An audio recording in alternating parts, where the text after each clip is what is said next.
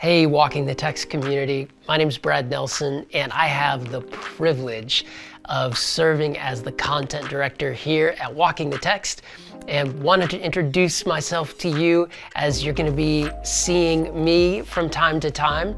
And just a little bit about myself. I am married to a beautiful woman, Trisha. We've been married for 20 years. We've got three daughters.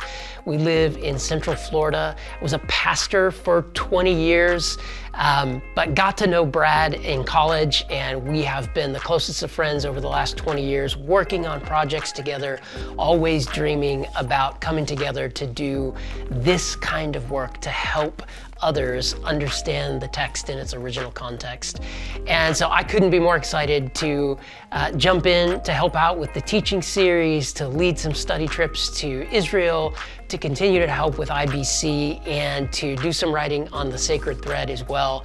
It's just such a privilege uh, to join you and walk alongside you because, like you, my passion is to see the text come to life in totally new ways. And I'm just really looking forward to walking with you and doing just that.